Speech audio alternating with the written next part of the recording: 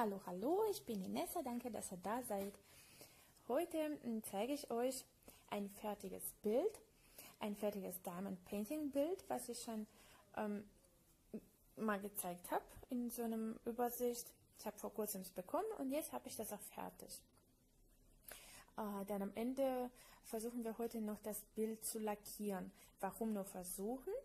Oder vielleicht klappt es auch, werden wir dann sehen. Das wird dann spontan quasi klar.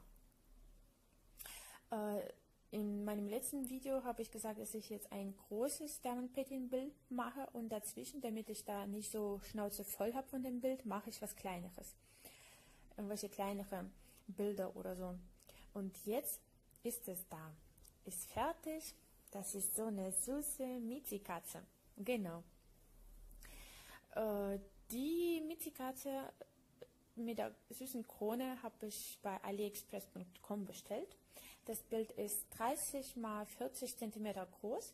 Das ist aber äh, nicht das Bild, sondern Leinwand. Das Bild selber ist 24 mal, 4, äh, mal 34 cm. Genau, da oben steht auch, habe ich aufgeschrieben. Es sind bloß, äh, wie viele? 15 Farben äh, waren noch mit dabei, also nicht viel. Ich stelle ein bisschen näher, diese Krone, was mir hier am meisten gefällt irgendwie. Ist wirklich schön. Die ganzen speziellen Kristallen, die sind auch mega toll. Die glänzen super. Qualität ist auch top. Ja, diese äh, großen äh, Kristallen, diese Schmuckkristallen, die sind auch, finde ich, toll, passen sehr gut zu dem Bild ja, wie man sieht, es wird nicht komplett alles gepaint, sondern so dazwischen ist auch ziemlich viel Platz, was einfach so frei bleibt. Ja, das Bild habe ich äh, in zwei Tagen fertig bekommen. Normalerweise, ja, wenn man sich Mühe gibt, kann man auch an einem Tag alles fertig machen, aber ich dachte mir, nö, ich übertreibe mal nicht. Ich lasse mir ein bisschen Zeit und so die obere Hälfte habe ich in einem Tag gemacht, so von der Nase, also von der Krone bis zur Nase. Und äh, das untere Teil von der Nase und alles, was da drunter ist, habe ich an dem anderen Tag gemacht. Also dafür habe ich zwei Tage gebraucht. Aber so wirklich alles mit der Ruhe. Weil, wie gesagt, ich mache die ganzen Bilder immer entspannt und ruhig. Ich beeile mich nicht. Ich genieße es einfach. Wenn ich die Zeit habe, dann mache ich es einfach. Ja, äh, wie man sehen kann, die Katze hat so einen Anhänger, das war mir ein bisschen unklar. Der ist blau, auch ist so mit so blauen Kristallen gepaint und glänzt auch schön. Was mir aber nicht klar ist, warum so ein Kristall, so ein oben auf dem Stirn von der Katze, ist auch so blau, aber ich habe auch schon geguckt, ob es klebt oder nicht. Das ist auch nicht mal klebrig, da kann man nicht drauf kleben. Das war mir ein bisschen unklar geblieben. Das alles ist so quasi mit so speziellen Kristallen beklebt und dieser Kristall oben nicht. Naja, es war bestimmt so gedacht, so geplant. Sieht trotzdem gut aus, finde ich, weil die Augen, die sind auch quasi nur mh, mm, gemalt, also das ist auch nicht gepaint. Aber wahrscheinlich muss auch nicht sein, sonst wäre es zu viel. Also diese großen Kristalle, diese goldene, das wurde alles dran geklebt. Und natürlich die ganzen kleinen. Äh, äh, auf der Liste sieht man auch, es sind acht äh, Farben von den kleinen Kristallen, speziellen Kristallen und die restlichen waren diese spezielle große in verschiedenen Formen und Farben.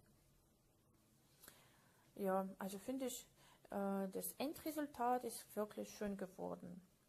Ich zeige euch, wie das bei mir alles organisiert war. Ich habe so eine, eine tolle Dose, M&M's Dose, ja, die ist immer noch mit dabei. Da ich nicht so viele Tüten hatte, nicht so viel Zeug an sich, dachte ich mir, was anderes wäre jetzt Quatsch. Habe ich das einfach alles reingetan und es war auch gut so, weil es schön bequem, der ganz einfach zu machen und gut ist. Also von allen Kristallen ist was übrig geblieben, außer eine Sorte, zeige ich dann auch. Von den kleinen, wie man sieht, da ist wirklich viel noch da geblieben. Also die speziellen Kristallen sind auch übrig geblieben, so diese goldene Tröpfchen oder was das ist. Äh, aber von einer Sorte, das war die Sorte mit diesen großen, ähm, diesen, weiß nicht, Tropfen, diese große Kristallen, von denen bloß zwei Stück da ist und es war auch bloß zwei Stück da. Also falls ich da was kaputtes hätte oder irgendein Kristall, was defekt wäre, hätte ich natürlich ein Problem. Aber zum Glück hat alles geklappt. Die waren alle in Ordnung, aber übrig ist da nichts geblieben. Ja, die anderen sind auch alle da, auch die Sternchen, auch alle Farben. Also es ist wirklich viel übrig geblieben, muss man ehrlich sagen. Und äh, was hier auch wichtig ist, die ganzen Kristallen haben echt gute Qualität. Also ich hatte nicht wirklich etwas Defektes. Also es war wirklich fast in jeder Farbe mal so ein paar Kristallen defekt. Es ist auch normal, aber es war wirklich nicht viel. Das hat mich richtig gefreut. Ja, da sind nur so kleine goldene Kristallchen. Da ist wirklich viel noch da. Da kann man noch zwei Katzen draus machen. Die anderen auch. Also auf jeden Fall kann man noch draus was machen. Naja, ich finde schon was. Ja, und äh, jetzt wollte ich ja noch mein Bild lackieren, aber da ich nicht wirklich weiß, ob jetzt mein Lack wirklich passt, weil mit dem anderen Bild, mit meinen Pusteblumen, fand ich, dass das Bild hinterher dann nicht wirklich geglänzt hat oder zumindest nicht so doll wie davor. Deswegen wollte ich jetzt erstmal den Klarlack mit euch testen mit, äh, auf diesen speziellen Kristallen. Das mache ich jetzt gleich und da werden wir auch sehen, wenn es okay ist, wenn die dann immer noch so glänzen, dann mache ich das auch. Dann machen wir zusammen. Dann versiegeln wir, lackieren wir das Bild mit euch zusammen. Ja, ich zeige jetzt nochmal, äh, wie das Bild glänzt, dass man sich noch so merken kann. Ja, die glänzen alle, man sieht es auch. Alle Kristallen, auch alle speziellen Kristallen, sind wirklich glänzend. Die hellbraunen oder dunkelbraunen, die waren so matt, aber glänzen trotzdem irgendwie in Kamera, sehe ich gerade. Ja, und da, also die Schnurrhaare, die sind toll, die finde ich am schönsten auch. Die Blümchen, die Ohren, diese rosa Kristallen, die sind auch matt. Und ansonsten ist alles glänzend. Ja, hier sieht man auch am Ohr, dass die rosa Kristallen auch matt sind. Ansonsten die goldenen, die hellbraunen, die weißen, die sind alle glänzend. Die goldene sowieso, ja. Ja, also die blauen, die sind auch glänzend. Also eigentlich, die großen Kristalle machen mir an sich so Sorge, was so Lackieren angeht, weil ich weiß nicht, wie sie dann hinterher aussehen. Ja, das muss man jetzt alles ausprobieren. Das machen wir auch gleich wie ich schon gesagt habe, mit euch zusammen. Jetzt äh, habe ich so ein Blatt Papier genommen, einfach so einen doppelseitigen Klebeband drauf geklebt. Das ist ganz normale Klebeband von Tesa.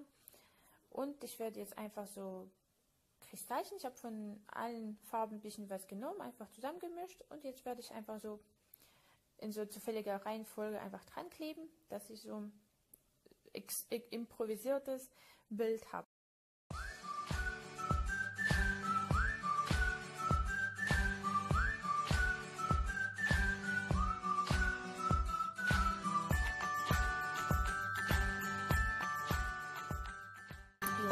bin ich fast fertig.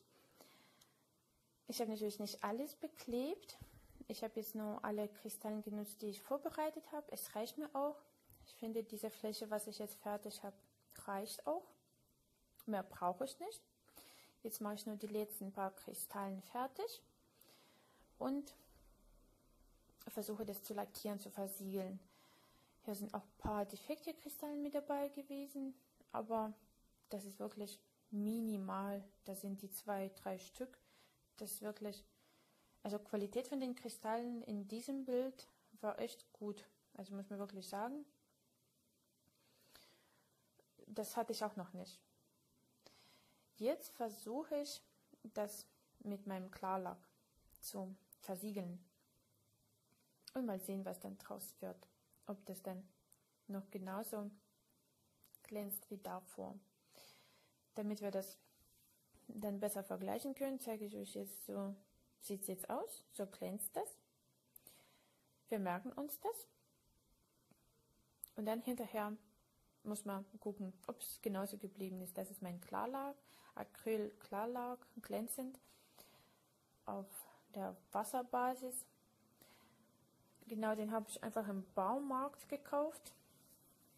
Nichts Besonderes. Der war auch nicht teuer, glaube ich, etwas so um die 8 Euro. Ja, das war halt, kann man überall, glaube ich, kaufen. Aber wie gesagt, bei einem anderen Bild war ich so ein bisschen nicht enttäuscht, aber irgendwie fand ich, dass das Bild vorher mehr geglänzt hat als dann hinterher nach dem Versiegeln.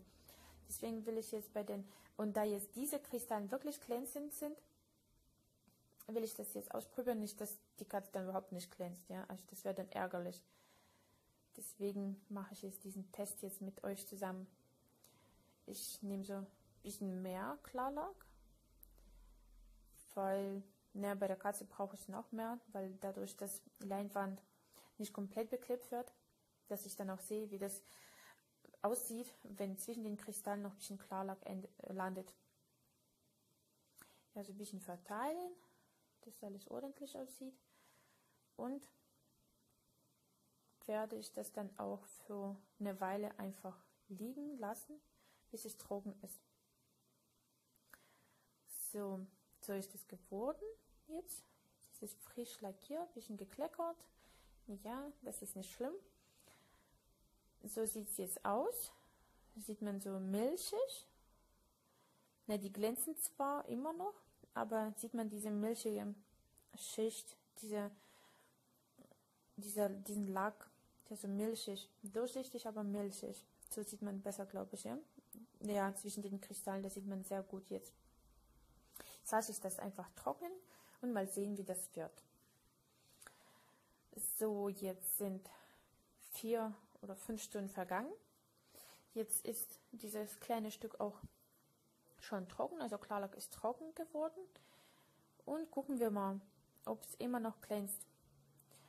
Und wie ihr sehen könnt, es glänzt immer noch. Sogar so doll, dass meine Kamera nicht fokussieren kann. so, jetzt, genau, das glänzt immer noch. Von dem Klarlack sieht man nichts. Also, ich glaube, man kann auch das Bild lackieren. Also ich nehme dann immer noch diesen Klarlack, steht da, habe ich schon vorbereitet. Diesen Pinsel, 6 cm breit, habe ich bei Amazon gekauft irgendwann mal extra, um meine Bilder zu lackieren. Und jetzt mache ich das auch mit euch zusammen und mal sehen, wie das im Endeffekt das Bild aussieht. Weil, naja, bin ich mal gespannt, habe ein bisschen Angst, aber ich hoffe, es wird dann immer noch so glänzend bleiben. Weil na, es wäre ziemlich ärgerlich. Ja? Weil ich wollte so sehr so eine äh, so, so ein Bild oder die Katze so, einen, so diesen speziellen Kristall haben, dass es dann auch hinterher glänzt.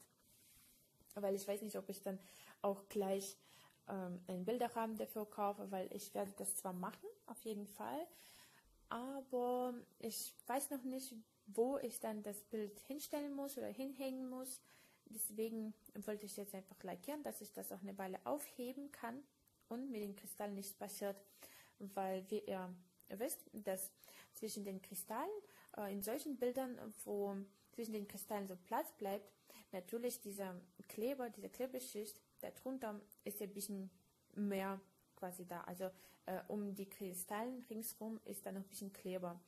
Und wenn das einfach so irgendwo liegt oder hängt, natürlich wird da Staub gesammelt und so, wenn, wie, wenn ihr wie ich so eine Katze habt oder so, irgendwelche Haustiere, natürlich auch Haare von den Tieren. Deswegen will ich das vermeiden und will das einfach alles sicher haben. So, man sieht auch gleich, dass die Katze auch so milchig weiß wird. Oh, ich hoffe nur, dass es dann auch weggeht. Dieser milchige Schicht. Ich hoffe, ich hoffe, ich hoffe. Hier ist wichtig, glaube ich, auch das alles richtig gut zu verteilen, dass nirgendwo so Klarlackpfützen bleiben, weil manchmal ist es so leider. Und wenn man so große spezielle Kristalle hat, dann sowieso, weil da lässt sich der Klarlack nicht so gut verteilen. Da muss man ein bisschen aufpassen. dass dazwischen und auf den Kristallen nicht unbedingt viel hängen bleibt. Naja. So machen wir das jetzt fertig. Das Bild ist nicht groß, deswegen das geht ziemlich schnell.